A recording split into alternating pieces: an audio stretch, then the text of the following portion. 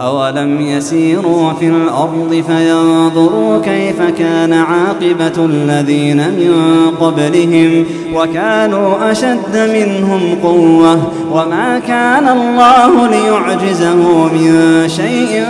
في السماوات ولا في الأرض إنه كان عليما قديرا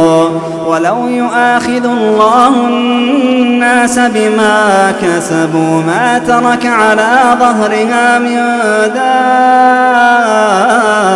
دابة